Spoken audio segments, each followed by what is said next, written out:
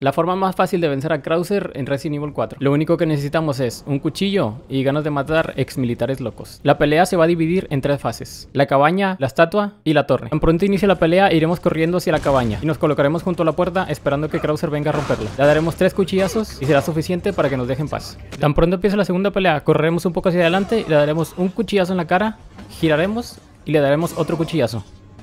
Eso será suficiente para que nos dejen paz. En el caso de que fallemos el cuchillazo y Krauser suba, nos cubriremos detrás de esas columnas y esperaremos a que Krauser baje para darle los dos cuchillazos necesarios para que acabe la pelea. Cuando comience la tercera y última pelea, esquivaremos el golpe de Krauser y correremos directamente hacia él y hacia la derecha, esquivando el ataque que nos quiere hacer. Corremos directo hacia él para darle un cuchillazo en la cara y dejarlo aturdido, dándonos oportunidad para seguir dándole más cuchillazos, intercalando entre uno en la cara y uno en las piernas para que no nos pueda hacer daño. Y de esta manera podremos acabar con él. Guarda este video si te sirvió y sígueme en Twitch. Hago retos de Resident Evil 4 y otros juegos.